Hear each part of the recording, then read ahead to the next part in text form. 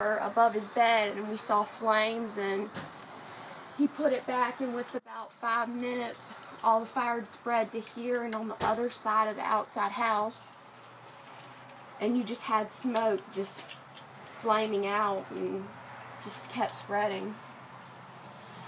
It started in here above the attic. And it slowly spread in here throughout the attic and